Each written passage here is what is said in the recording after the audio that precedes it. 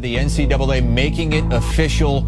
The NCAA tournament has been canceled for 2020. NCAA announcing this afternoon both the men's and women's basketball tournaments will be played with only essential staff and limited family. And I think what we're all going to have to figure out together is what our new normal looks like.